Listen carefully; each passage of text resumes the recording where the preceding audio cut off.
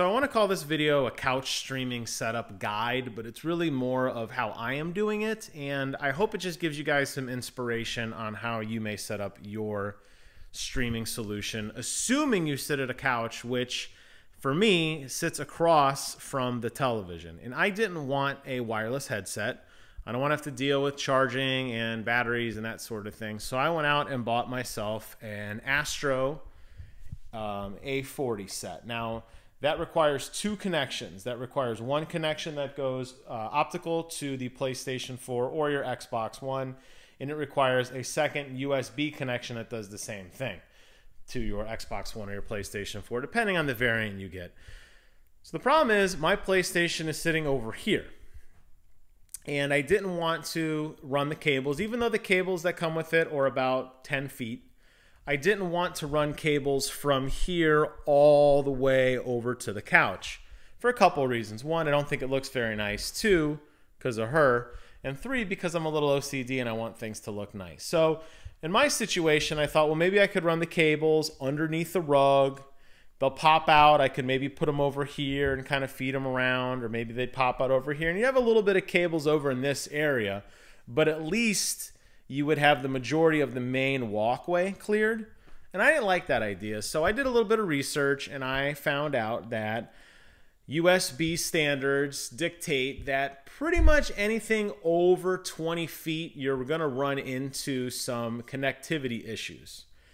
So I initially bought a 25 foot cable that ran from my PlayStation and I ran it all the way down behind around the corner, behind the couch.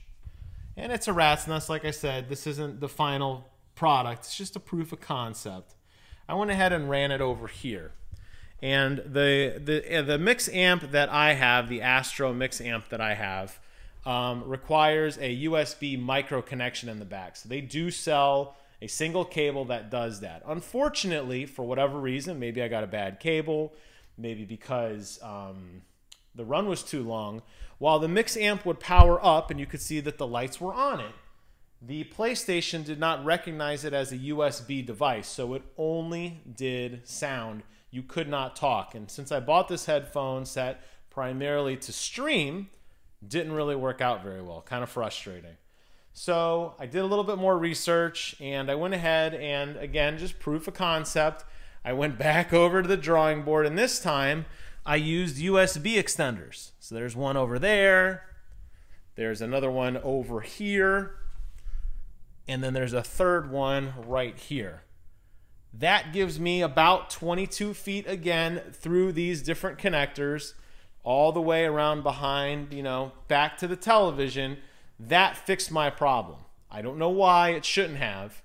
If you're going to do a long run of cables, you're going to want to get USB 3 and you're going to want to make sure you have an inline connector that connects either to a wall or it's inline to boost the signal because you will get power.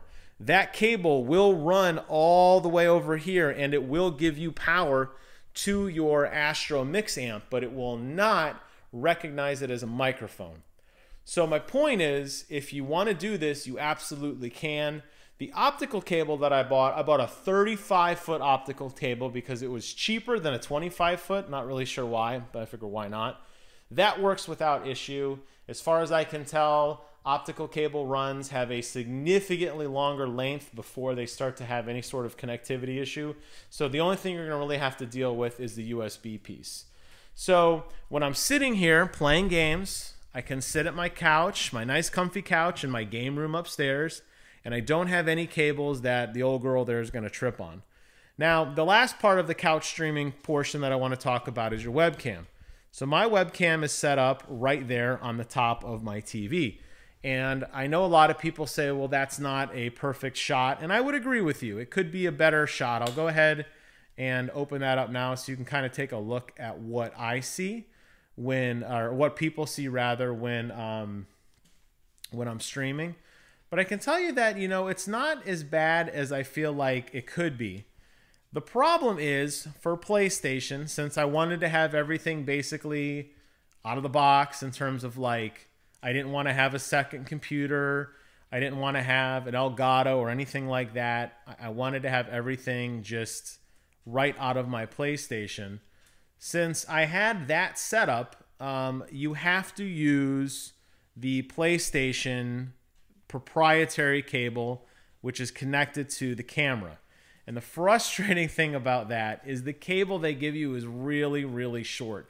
It's about two and a half feet long. And you can absolutely get a longer cable if you wanted to.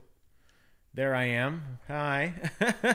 you can see it's not the best, but it does give you a pretty good shot of what you're going to see from the TV. And that's sitting up here. Here's what it looks like on an iPhone, which is a little bit nicer camera. Here's what it looks like on the television. So not horrible. But I wanted to point out that, you know, it's something worth considering for this streaming setup that this isn't all that bad considering this is really just out of the box. So out of the box, all I did was I bought this nice headphone, I ran some USB cables, I ran some fiber cables, and I'm able to sit here and people, if they want to see me, there you are. You can watch me sitting on my couch hanging out playing games. So this is an out of the box couch streaming setup. It's different than what you would expect when you see a lot of the pro streamers sitting at a professional desk, sitting with a professional setup with a dedicated computer. This is all out of the box. Definitely light amateur hour. I think the real key here is if you want a wired headphone and you don't want to have any kind of tripping hazard in your house, take a little bit of time and invest in some nice USB cables and a nice optical cable, at least if you have the, the Astro set that I do. But if, even if you want to just plug a headphone directly into your PlayStation, even better. You don't need any of this setup. But if you want to have a little bit nicer sound, just keep in mind that this setup could work for you. And again, it's not perfect. It's a proof of concept. I hope it gives you guys some inspiration for your couch streaming project. With that, I would like to close out this video as I pan around wildly looking for my dog. Hope you guys found it informative. If you did, just leave a comment below. Let me know what your couch streaming setup is. Let me know if you found a better solution. And this is again for somebody who wants a nice wired headphone. Obviously, if you get the Astro A50 or the SteelSeries, there's a couple wireless ones. I know Plantronics has some wireless ones. You won't need this. But if you're like me and you want a nice wired sound setup, this is, in my opinion, the preferred way to go because it keeps your living room relatively clean. Thank you guys so much for watching. Take care of yourselves. And until next time, me and Chloe We'll see you guys on the other side.